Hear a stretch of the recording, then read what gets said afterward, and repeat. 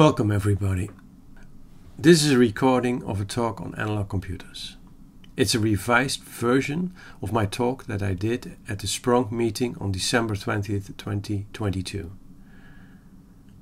First things first, I'd like to thank Hans van Bommel for the invitation.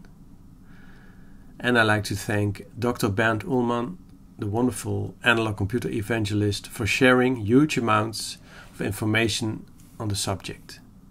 His books and web pages on analog computers and the extensive email replies were the main source of this talk.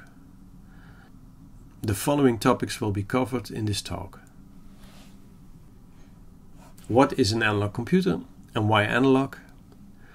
What are the properties of an analog computer? A little history on analog computers. The talk will be about electronic analog computers what standard components or modules can be found in an electronic analog computer. A simple example shows how to program and operate an analog computer. Where are we now when it comes to analog computers and what will the future bring us?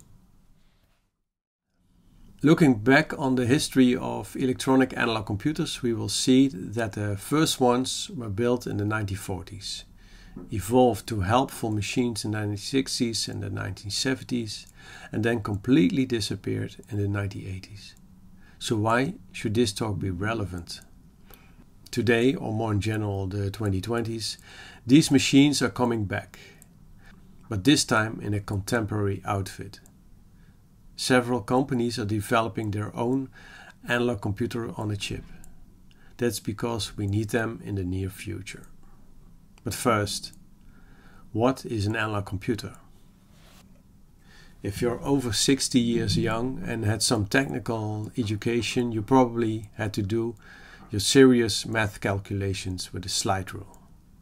The slide rule is an example of a very basic mechanical analog computer. This talk is about its electronic versatile sister, so when I'm talking about analog computers, I'm mainly talking about the uh, electronic analog computer. But to explain what an analog computer is, it's better to focus on an old mechanical one first.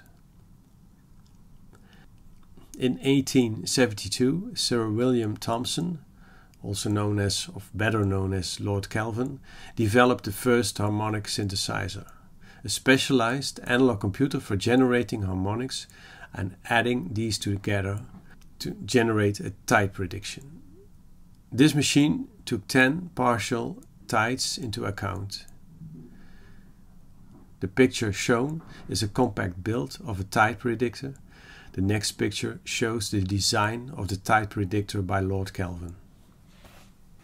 Now this tide predicting machine was a special purpose mechanical analog computer constructed and set up to predict the ebb and flow of sea tides and the irregular variations in their heights. The tides change in mixtures of rhythms that never repeat themselves exactly. It is important for ships porting or leaving a harbor to know the tides for individual harbors. Lord Kelvin designed a machine that could be set up for a specific location and a specific time of year and produce the correct sea tide. And we call it an analog computer because there is an analogy in the sea tide behavior or the height of the water level at the harbor and the behavior of Lord Kelvin's machine.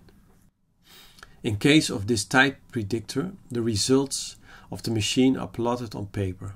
These plots are the tides for a given harbor at a specific time.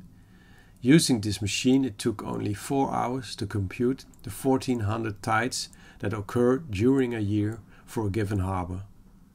Performing the same task manually took several months.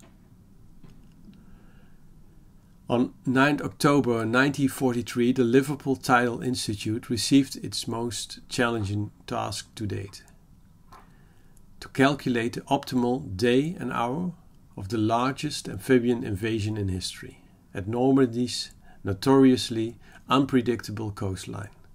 For this task, they still used the mechanical tidal predictor designed by Lord Kelvin. Moving ahead in time and going electric. Here we have a picture of an electronic analog computer. It's a Telefunken RA770, a machine from 1970, but more on that later. The electronic analog computer is a machine where its internal structure is not fixed.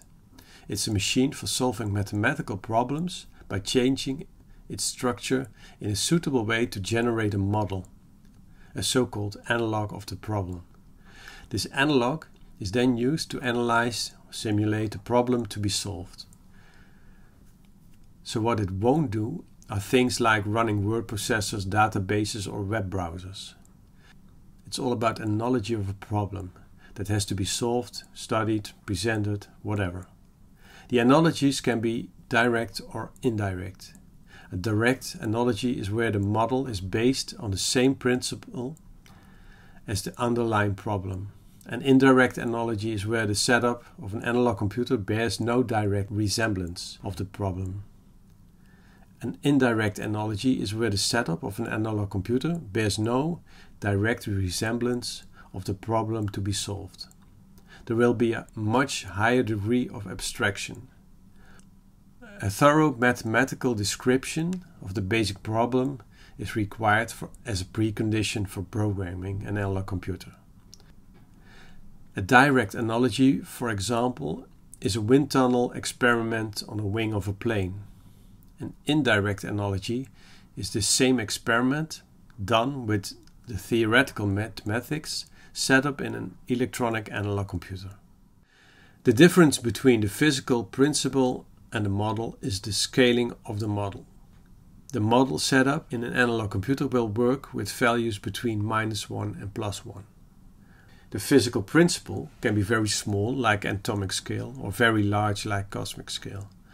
Also, the time variable has to be scaled. The physical principle can take very little or very long time.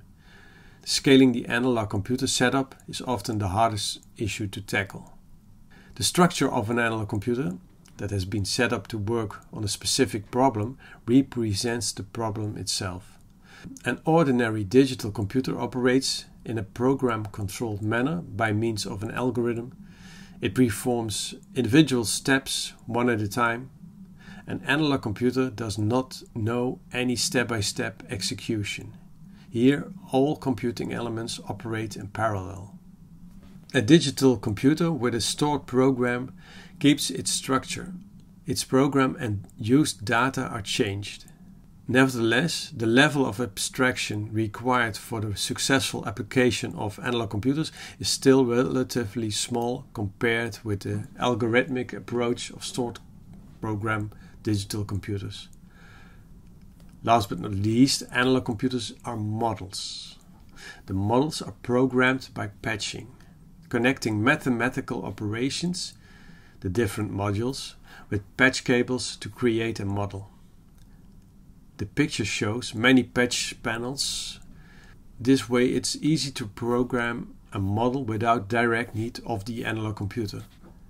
An analog operator can then connect the panel to the analog computer, set all the dials as requested by the programmer, and run the machine.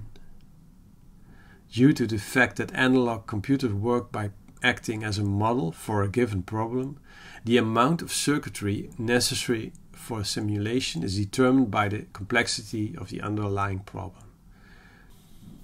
Accordingly, analog computers are not capable of the trade off between time to solution on one hand and complexity of the underlying problem on the other, what we have with start program digital computers. This is both a curse and a blessing. The curse being that an analog computer consisting of a given number of computing elements cannot solve a problem that requires more computing elements. The blessing is that the time to solution on an analog computer is more or less constant and it's not related to the size of the underlying problem. So, simply put, for big problems, you need big analog computers but the time to solution is not dependent on the size of the problem or the analog computer. Some classic problem areas, especially those found in aerospace and applications in the chemical industry, require well over a thousand computing elements, resulting in substantial, if not giant, analog computers.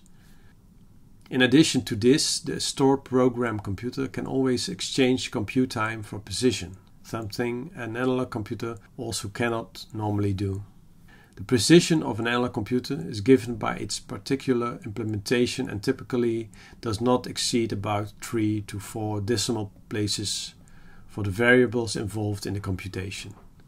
An analog computer does have a disadvantage for those who are used to high precision of digital computers and calculators. For those who are used to high precision of digital computers and calculators, an analog computer has a serious drawback. You don't use an analog computer for summing series or precise number calculations. But it's great for like feedback systems, easing finding parameters to stabilize a chaos system. Also feedback systems like flight control, plotting and analyzing a set of coupled differential equations. For me, the strong point of an analog computer is that it's easy to change and tweak the parameters of a computation and get the, an immediate result. If the program is a model of a chaos system, it's easy to find the conditions in which the system is stable or unstable. Finding boundary conditions for partial differential equations can be found this way. Finding the desired parameters can be done by hand, but even easier with a hybrid system. In case of chaos systems, the digital computer sets all the possible parameters runs a program for every possible situation and tests the output whether the system is stable or not. This way, the digital part can automatically create a domain for parameters in which the tested system is stable. An analog computer is not precise on exact calculations, but working with continuous values, it has no discrete steps between these values. So it's very good in coping with small fluctuations. An example of differences between flowing analog and discrete digital, we are going to look at different situations for the Rössler attractor. The Rössler attractor is a continuous time dynamical system with chaotic behavior. This system is described by three coupled differential equations. The focus here will be on the resulting plots of the four different situations. The first picture shows a plot of the Rössler attractor produced with all and only analog equipment. It's a fluent continuous line with different intensity. The intensity is a consequence of the speed of the point moving in the plot. The second picture is also a nice plot of a Rössler attractor, now with slightly different parameters. This time the plot is done on a mediocre Chinese oscilloscope although the vector or draw a line from point to point option was enabled, it still only plotted a series of points. Better oscilloscopes will draw nice lines, and only the very expensive ones will draw a correct intensity of a line segment. For my noise machine projects, I wrote some software that could simulate an analog computer and send its output via MIDI to my home-built electronic sound machines. Equations for different chaotic systems, being oscillators and attractors, are coded into the application. The parameters are controlled by a MIDI controller. And here we see a plot that should look like a nice plot of a Rössler attractor, but looks if it's corrupt. It's a collection of straight lines uh, going everywhere. It has to do with the discrete steps in the calculations where very, very fine time steps are needed. The plot is jumping in all directions and even with a 2 microsecond time scale. If you pick the right parameters, you will end up with a good looking stable attractor system or an oscillator. Scaling a system in a minus 1 to plus 1 range and finding the desired and matching parameters is often the hardest work of an analog computer programmer. And here, a digital computer can be of great help with both challenges. Scaling is often algebra. Finding the better parameters sometimes done with uh, try and error feedback. Finding a specific parameter can also be the target of the model. Finding parameters for a model is often done with a hybrid computer. It's a digital computer operating the analog one, where the digital one will set the parameters initialize the analog computer, operate it and halt it, and read the analog one. So the repetitive sequence is setting parameters, initializing the integrators, going into operation mode when the calculation is done, going in halt mode, and reading the results.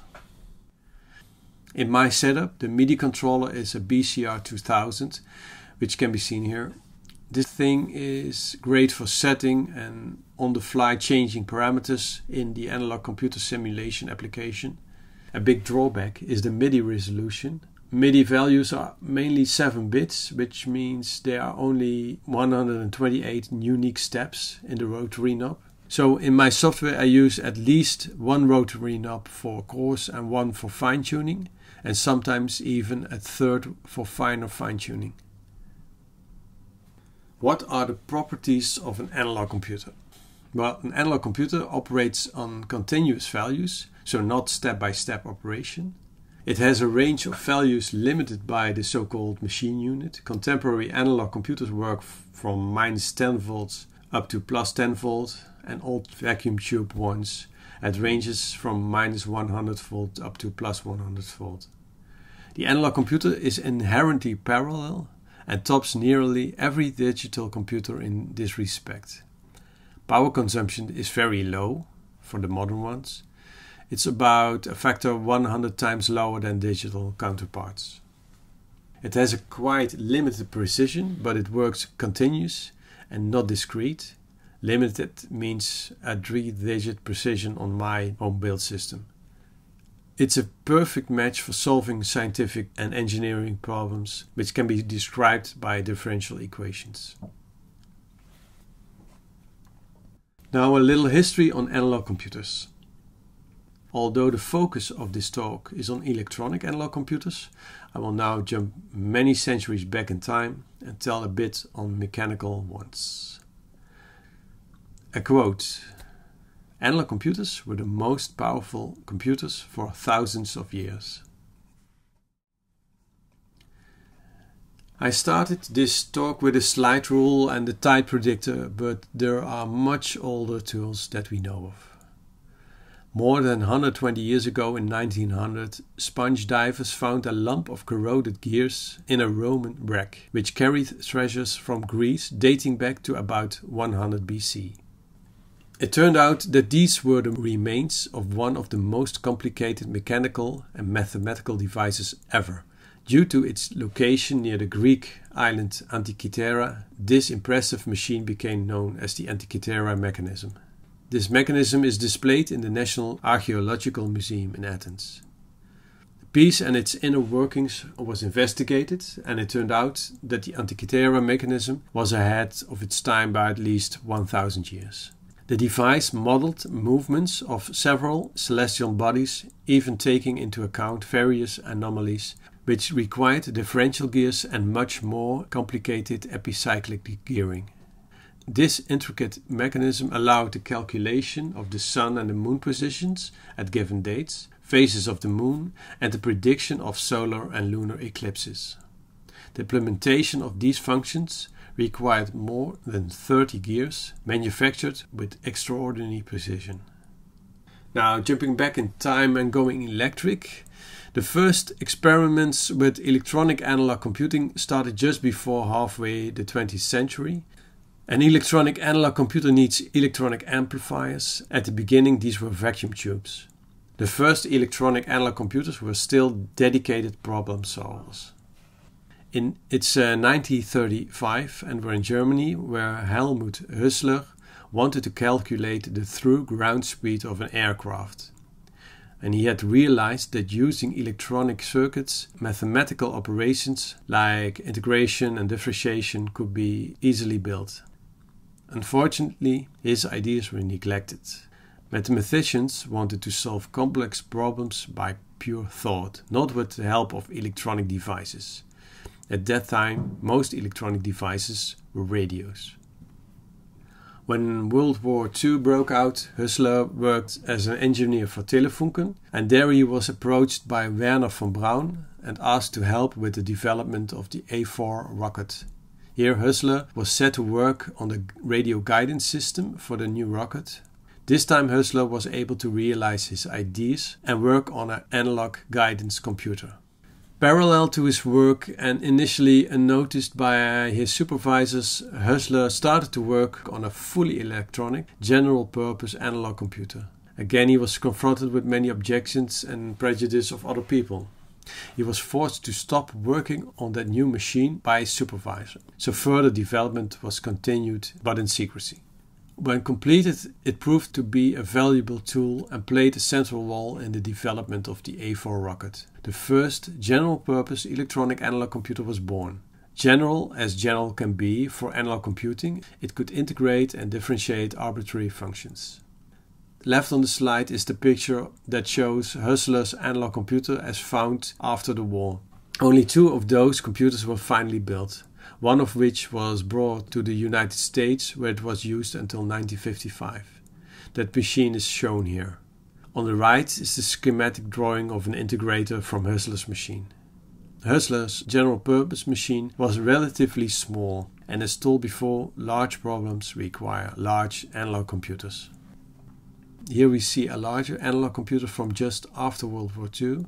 It's a GPN 2000 from 1949 Later on, I will show that an electronic analog computer has a limited number of components. For the programmer, these components are nothing more than composable mathematical operations or functions. For the engineer, these operations and functions are easy to build. In the beginning, the main parts were summers, integrators, and buffered coefficient potentiometers. For this, you needed only three designs and you could build as many of the distinctive parts as you needed.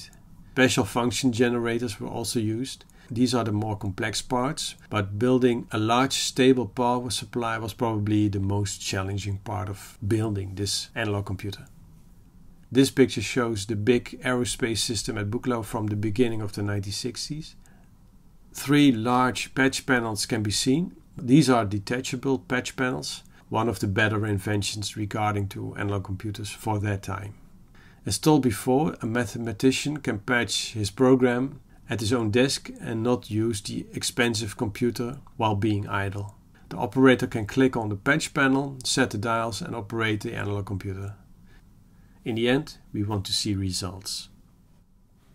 If it's a calculation, the output can be a single value on a meter, plots on an oscilloscope screen, screen photos or films from that oscilloscope screen or pen plots. If it's a simulation, the analog computer can read controllers and feedback to the, some other hardware.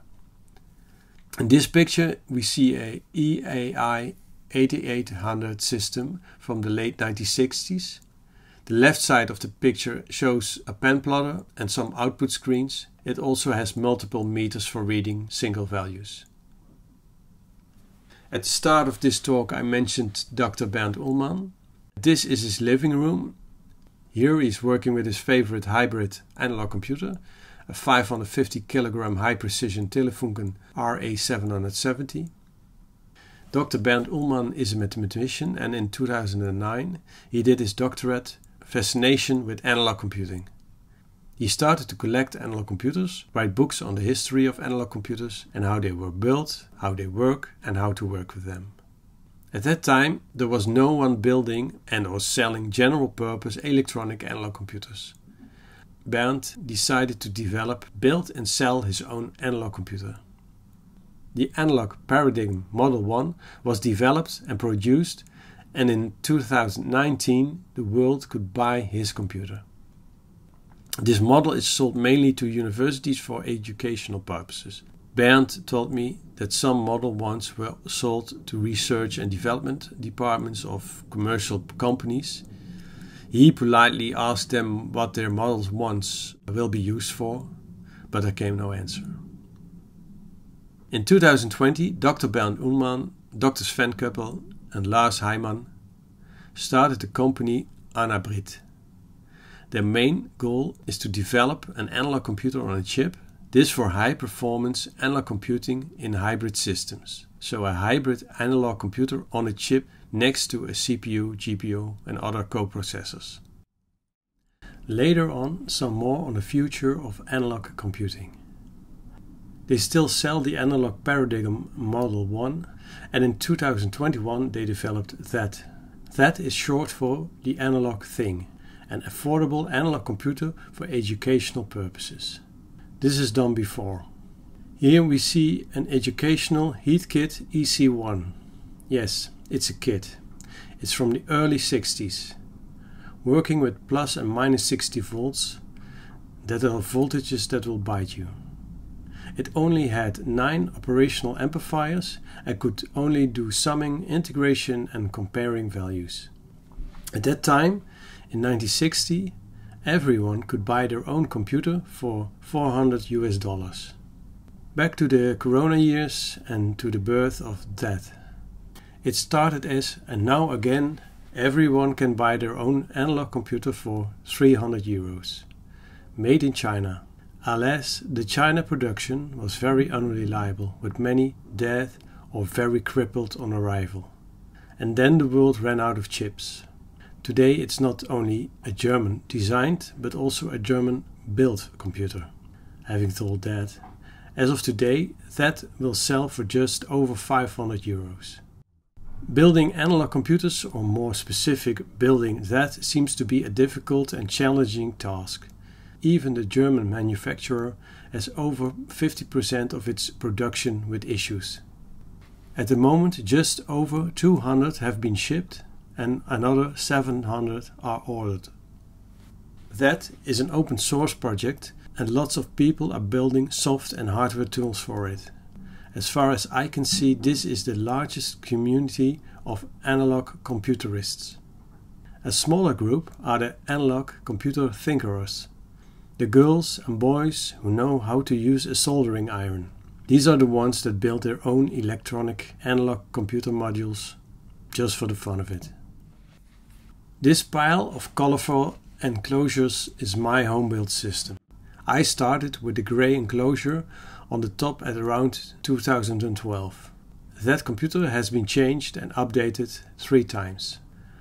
The other three modules, the green, the black and another rainbow, have been built in the last three years. I made this system myself, so it has the parts and modules I wanted in my analog computer. A decent control unit, many multipliers, enough coefficient potentiometers, precision reference voltages, enough comparators, including analog switches, not the inaccurate mechanical relays. Why did I build it? Why analog computers? Well, back to 1983 and back to school. Even more back, in the 70s, Hitachi was the preferred supplier of analog computers for technical colleges in the Netherlands. As far as I know, they were mainly Model 200 machines. In 1980, my middle or high school, whatever, in Dutch, de Philips van Horne Scholengemeenschap, started a computer club run by students and supervised and mentored by a math and a physics teacher. I knew that the physics teacher had lots of connections with technical colleges and technical universities. So one day I entered the club room and out of the blue there it was, as if it was just dropped there with a kind of time machine. The Hitachi 550E. I don't know for sure, but I still think the machine was donated by a technical college Unfortunately, the physics teacher passed away recently, so I can't ask him anymore. What I do know is that the physics teacher knew what it was and how to work it.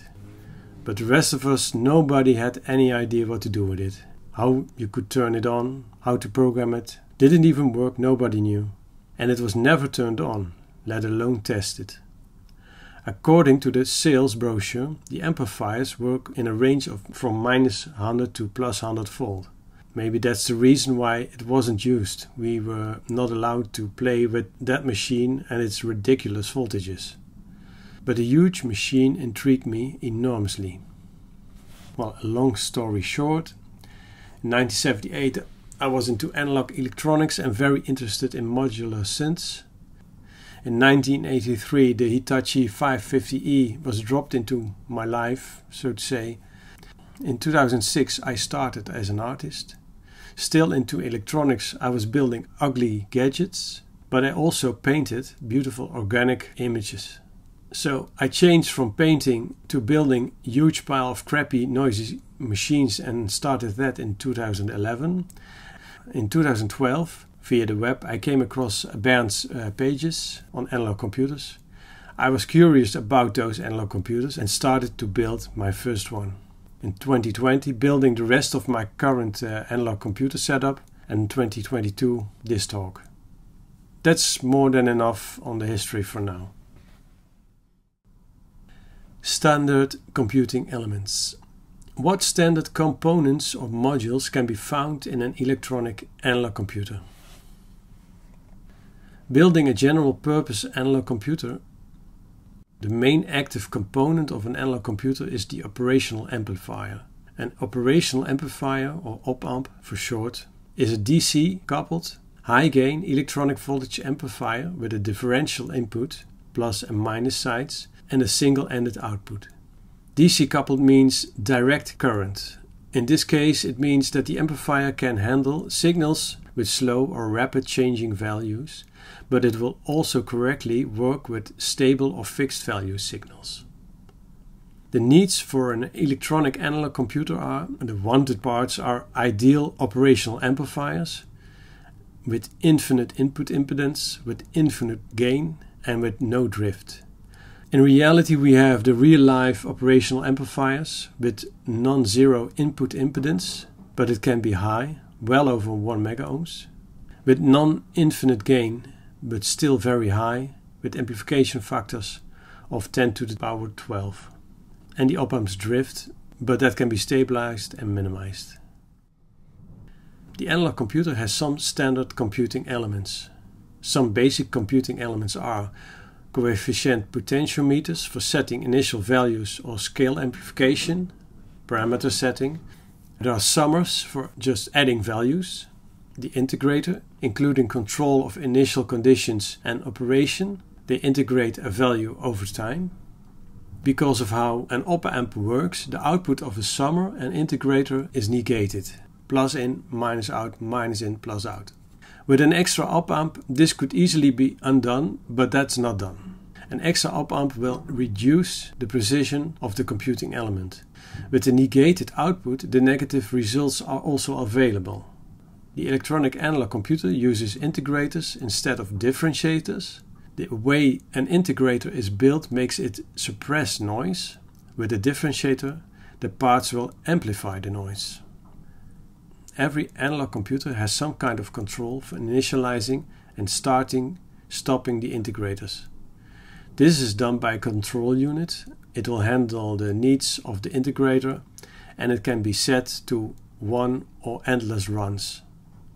More basic computing parts are multipliers or other dedicated functions, comparators, these are the if-thens for analog computers, they compare values, the comparator has two inputs.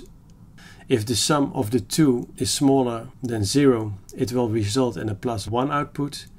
If it's larger than 0, it will result in a minus 1 output. And almost never precisely 0, which will result in a 0 output. Building a usable multiplier with electronic components was a serious challenge. Today we have high quality multiplier chips and these are the most expensive chips in an analog computer. The cheaper ones cost about 20 euros, but more serious, precise ones will cost around 100 euros, even more. The high quality op amps used in the Model 1 are even today less than 10 euros. And more basic computer parts are dedicated function generators or function models, like generating a sine wave or applying a sine function on a signal often used are coordinate converters converting between Cartesian and polar coordinates. Furthermore, there are noise generators mostly with sample and hold modules. These are used in Monte Carlo simulations. And as a last one, time delay units. A better look at a general purpose analog computer. At the right is the Dornier 230 general purpose analog computer and at the left the simulator. The simulator is built as a more dedicated analog computer but has the parts and can be used as a general purpose analog computer. Dornier was well known as a German airplane company and the simulator was marketed as an analog computer for all kinds of aircraft simulations. And yes, the airplane company built and sold their own computers. Here we focus on the patch panel. This is where the model is programmed by patching from one computing element to another. At the top of the panel you can connect to the coefficient potentiometers. Here we focus on those coefficient potentiometers.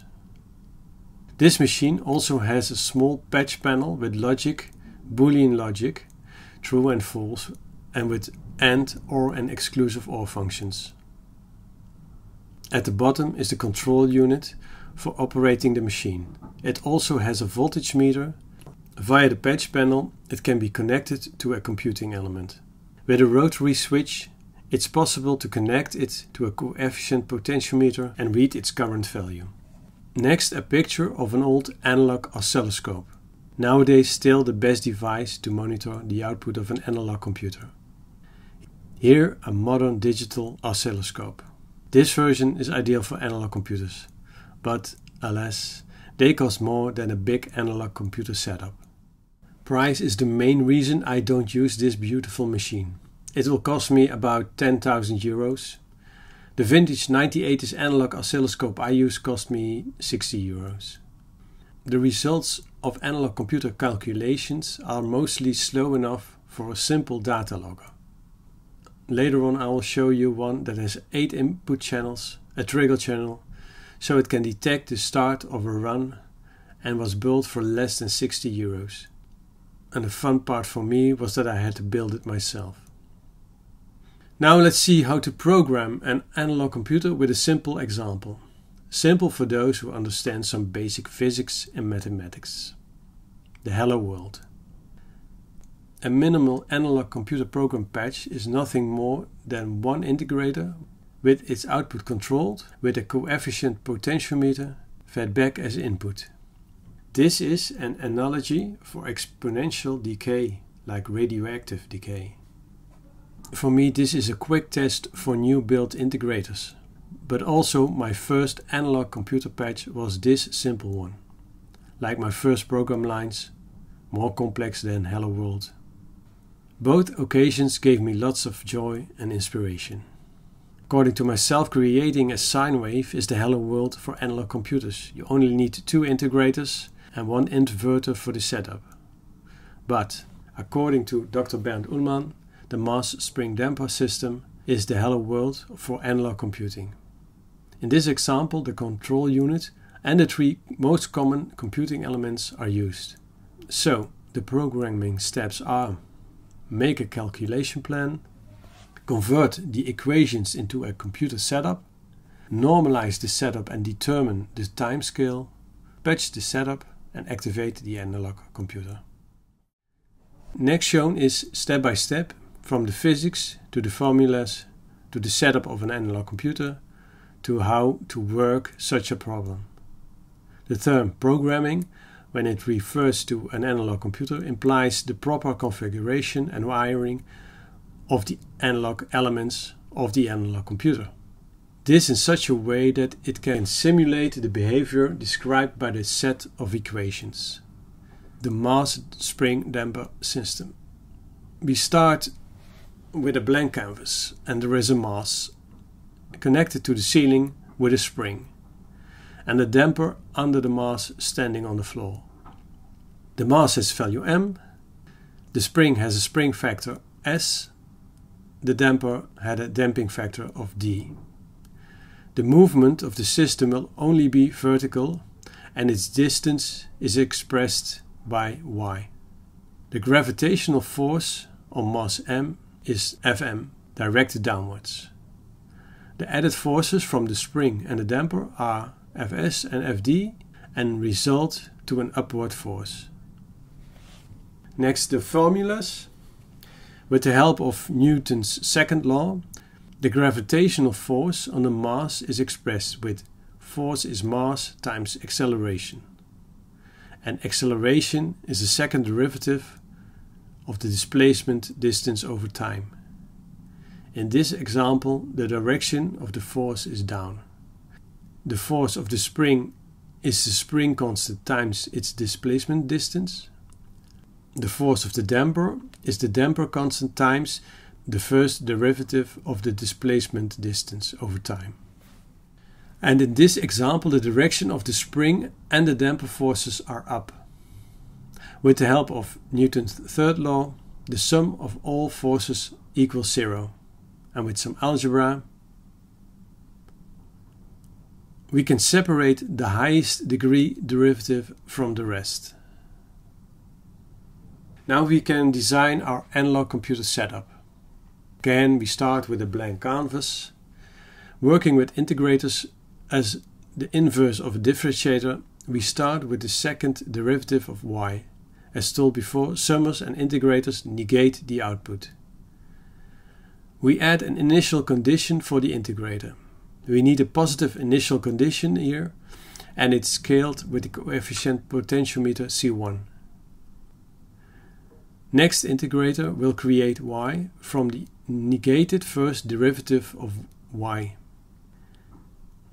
This integrator also needs an initial condition.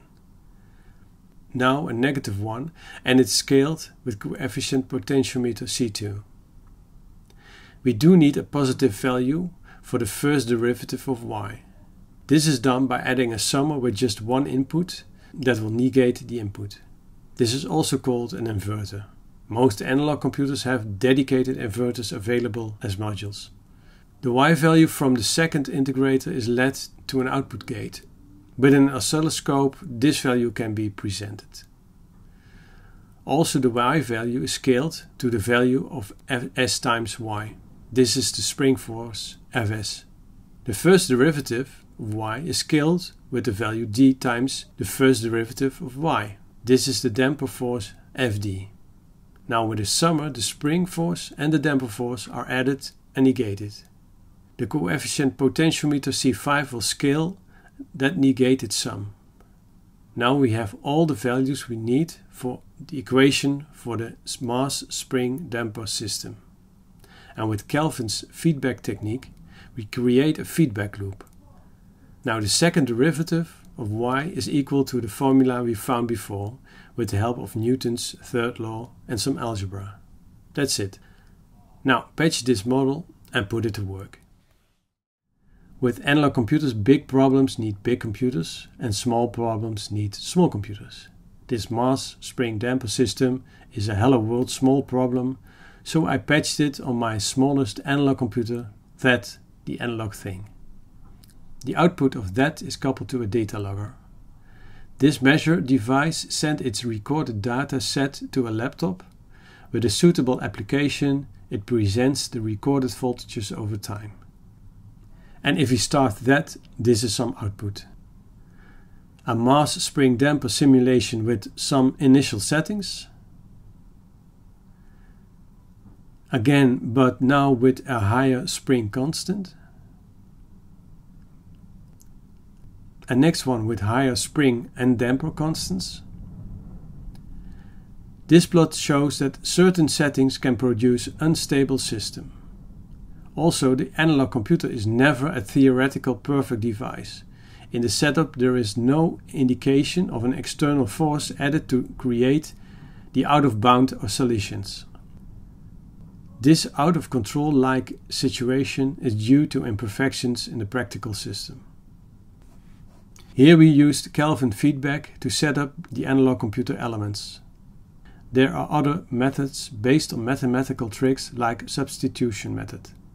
Since an analog computer can only use time as the free variable of integration, partial differential equations are normally solved by either employing a quotient of differences approach or by separation of variables. Here's some images of screen dumps of different patches running on my home-built analog computer system. This Hindmarsh and Rose model describes the behavior of neurons and it consists of three coupled differential equations, all very theoretical. In this case, my cheap OWON does produce a nice screen dump. Most oscilloscopes have two input channels, the more expensive ones have four. The advantage of logging data from most analog computers patches is that it can be done with relative low speeds. So every thinkerer will buy some cheap but still fast microcontroller board with decent analog inputs and build a slow speed data logger. Popular is the Teensy4 series microcontroller boards, which is affordable, fast, and has two separate analog input controllers and eight analog inputs. The microcontroller logs the signal from the coupled analog computer and sends data via USB to a laptop or PC. With this home-built data logger I also needed to write my own data processing and presentation software. My version will do time-based plots, XY plots and two-channel spectrum plots. And here are some images. An Euler spiral is a clothoid and display a significant role in road and railway track construction. A safe curve in a road is a curvature that starts at zero, rises to a maximum, and then falls back to zero again. This plot was used to test the spectrum plot function. It's a data of some seconds of stereo audio track. This video shows a slow time plot on an old analog oscilloscope. It's the plot of a Lorenz attractor, Elegant Chaos. A critical observer will notice that the points plotted are not nice round and small points or line fragments floating in the direction of the Lorenz attractor plot. At this stage, my home-built analog computer had some minor design flaws that introduced small but noticeable and unwanted oscillations. The mistakes were small and easy to remove. Now my system is working as intended with minimal noise. Now a video of a fast time plot of the same Lorenz attractor setup. Setting a speed is done with the speed selection at the integrators. With coefficient potentiometers, the input on an integrator can be fine-tuned. Most vintage analog oscilloscopes have no memory function they will only plot one point per channel. Here is a photo of an oscilloscope screen plotting the points of a Lorenz attractor. The photo is made with a long shutter speed, so the series of line fragments form this butterfly shape. The OWON is capable of storing screen dumps. Here we see a collection of single frames forming a time-lapse video. Every next frame is created by just tweaking some parameter just a bit. In the end, the parameters are set in such a way that the system is nothing more than a single but stable point. Where are we now when it comes to analog computers? At Anabrid, they are designing an analog computer on a chip. This as a classic coprocessor. Its integration into digital computers will yield powerful general purpose, and special purpose hybrids.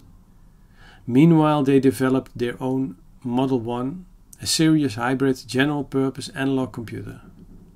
The analog thing, THAT, is a high quality, low cost, open source, and not for profit cutting edge hybrid enabled analog computer available to individuals and educational institutions. Most of the old analog computers can now be found in museums, the biggest collection can be found at Dr. Bernd Ulmann's museum. He is not only a collector, if possible, he will get them all in working order. There are a lot of computer and technique museums that have vintage, mechanical, and electric analog computers on display. Other people I know that own vintage analog computers are all using them in an electronic music setup. In the 1970s, the Hitachi 240 was the analog computer on technical colleges in the Netherlands. One of them ended up in Dr. Bernd Ulmann's museum. Two of them ended up by musician Hans Kulk, who later donated them to Willem II Studios in Den Bosch. Those two, a lot of other vintage electronic measuring equipment, and an analog mixer is now used to create electronic music. In another room, there is a studio with all vintage analog synthesizers. Both rooms can be rented by musicians. Hans Kulk can help you if you like to use the analog computers. The electronics for an electronic analog computer is quite simple. Most parts are cheap and still widely available. Only a multiplier chip is relatively expensive. There's lots of free documentation on the web and lots of support by the community. So, for those who like to build their own machine, it's not expensive, quite easy to build, and there's enough documentation and help. For me, building my own analog computer is a big part of the fun. So, now, what will the future bring us? The near future of analog computers. Looking back one more time on the history of electronic analog computers, we saw that the first ones were built in the 1940s, evolved to hybrid machines in the 1960s and 70s, and then completely disappeared in the 1980s. And now, this time, these machines are coming back. Back in a contemporary outfit. Several companies are developing their analog computer on a chip. That's because we need them in the near future looking on the web on the subject of analog computers? There is a great video by Veritasium on YouTube titled The Most Powerful Computers You've Never Heard of. Found on the Mythic website. Analog AI, it sounds crazy, but it might be the future. And this company is developing dedicated analog computing chips for AI purposes. They are working on compute in memory hardware. Analog computing provides the ultimate compute in a memory processing element. In my early days of programming for simple 8 bit computers, I did a lot of assembly language programming. That's programming almost directly with the language of the chip itself. If you did it right, you could write faster and much smaller code than the compilers available. In those early days, computers were slow and had very little memory most of the programmers that used this way of writing their code discovered that over 80% of the code is reading from or writing to memory, just moving data, and sometimes doing nothing else with it. Contemporary digital computers and devices still do a lot of just moving data. So, indeed, compute in memory instead of mainly moving bits and bytes is a great idea. For Mythic, analog computing provides the ultimate compute in memory processing element. Their analog computer makes compute in memory to an extreme, where the system computes directly inside the memory array itself.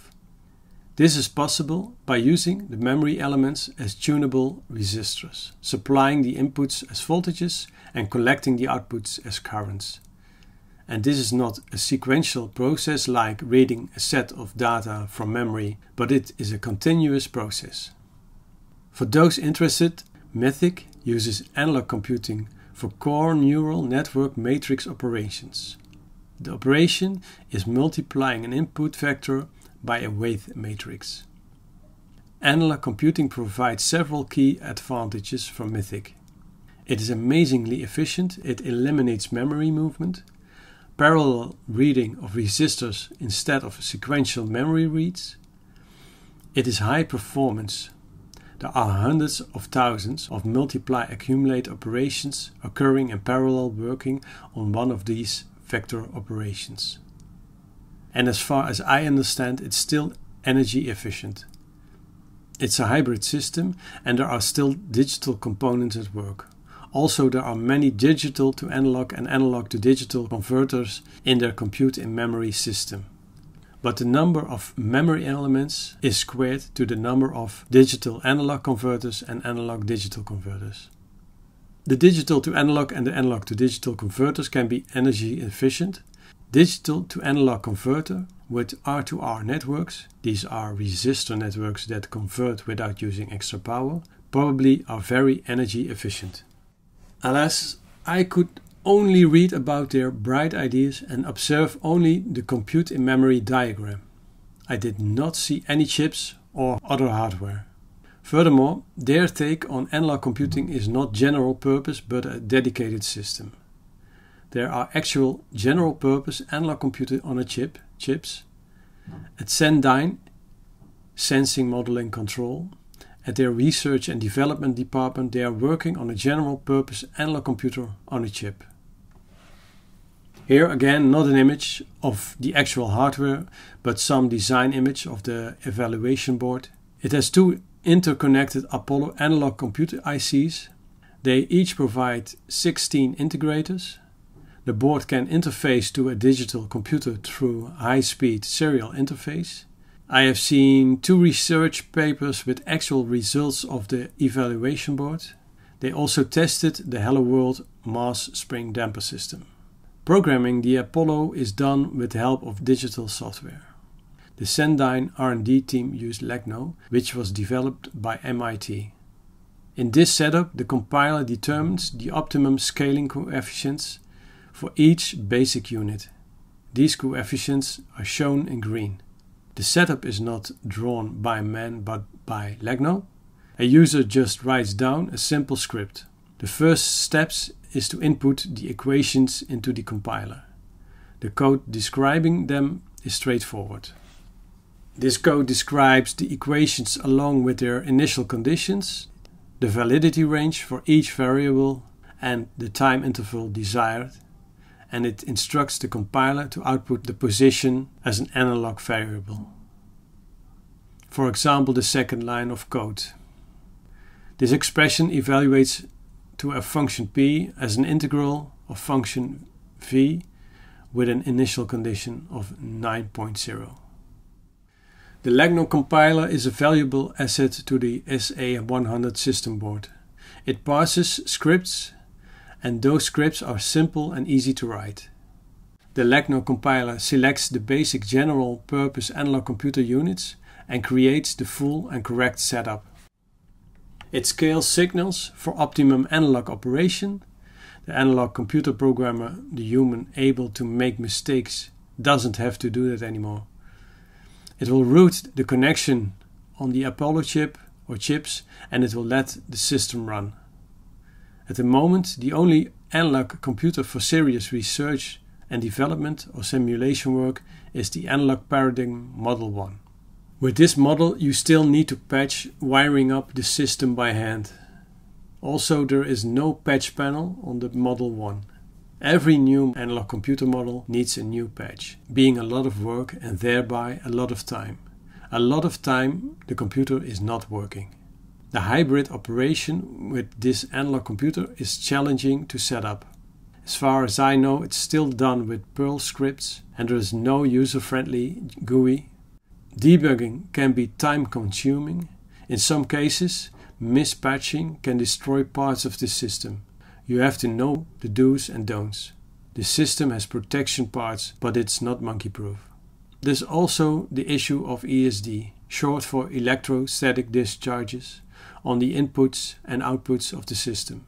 Accidentally giving the input of a multiplier an electrostatic shock can become expensive. Research and development labs are shockingly famous for their bad ESD situation. Today's system like the Model 1 and VETH have protection components at their in and outputs. Those protection components do a wonderful job, but they can't protect every miss event, and even, but rarely, they get damaged themselves. A fun fact is the old vacuum tube analog computers were completely insensitive for ESD. In the 80s, cruise missiles still used them for missile control because they would not fail after an electromagnetic pulse generated by an enemy or some other exploding nu nuclear bomb. The last company I'm going to cover here is Anabrid. Anabrid is the merge of analog and hybrid. Regarding the future, I will focus on the development of a general purpose analog computer on a chip. Because of production issues and chip shortages, most of their time and energy these days is put into the analog thing as far as I know and have been told, at the moment the chip is more an idea than a real working product. According to Dr. Bernd Ulmann, the energy efficient analog computer on a chip is the future. It is not magic, but instead within reach. For realization, he founded Anabrid together with the visionaries from various industries. The problem with conventional digital computers is that they consume too much energy and run up against physical boundaries. Classical computing has reached an end. there is need of fresh ideas for high performance computing. This is also true for energy efficient computing.